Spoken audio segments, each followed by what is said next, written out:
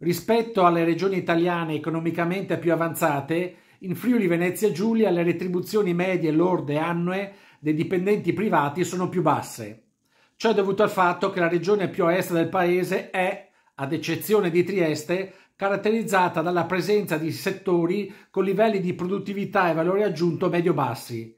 Per rendere le buste paga più pesanti, soprattutto delle maestranze friulane, bisogna investire di più, incentivare la contrattazione locale, tagliare l'IRPEF e rinnovare immediatamente i tanti contratti di lavoro scaduti.